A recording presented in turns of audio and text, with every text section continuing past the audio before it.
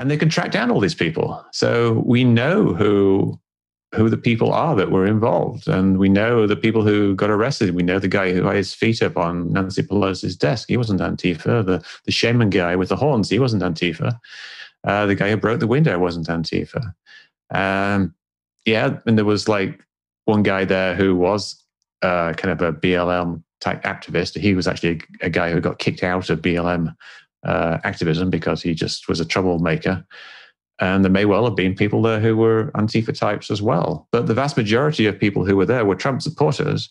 And the people that we can see actually taking action, like breaking windows, uh, and people who were shouting instructions to people were people like Proud Boys.